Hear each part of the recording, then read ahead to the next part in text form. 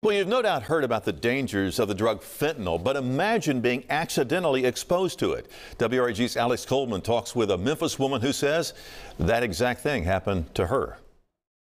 Photos of Virginia Terrell show a 41 year old college graduate, a mother, and a manager of a busy Beale Street restaurant.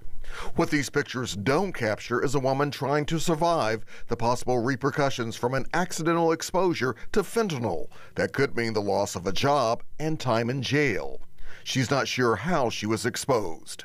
I work on Beale Street, and like I said, I'm the manager, and I am one of those people who go into the bathroom regularly to plunge the toilets and clean the sinks and things of that nature. So, you know, there, there's there's just no telling. What complicates her story is she's also in drug intervention court.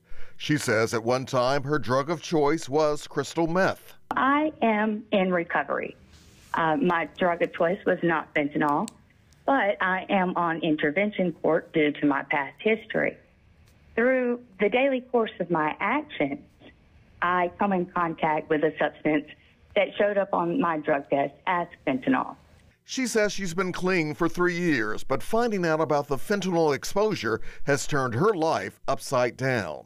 I felt so violated that, that this could be in my system after I had worked so hard to make sure that that nothing of, of that such is in there. But she's not just concerned about her health. I risk incarceration because of my past, and and this I feel like I'm in a a very horrible cycle, even when I'm getting my head above water. She also worries about her job. I, I love my employer, and so it, it does uh, put uh, a small dark spot on my heart to know that to, to maintain the the uh, criteria to be met by drug court that I may have to leave my place of employment.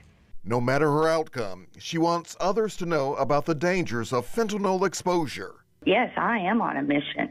I'm on a mission to help save families and lives and communities.